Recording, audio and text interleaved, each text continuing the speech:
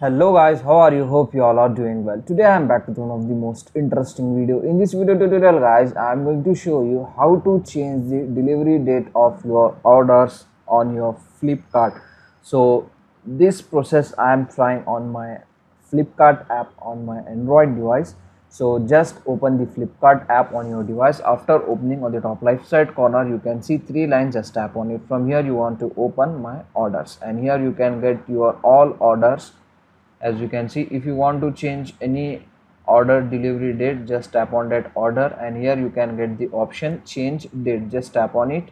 From here you can easily select your suitable date which you want to deliver that order on your date. For example i am selecting 6 and just click on submit. That's it. Very simple. So from here guys you can easily change your flipkart order delivery date on your android device so that's it for today guys. Is the short and very simple video. Hope you enjoy this. If you enjoy please guys don't go back without like share and subscribe our channel. Thank you very much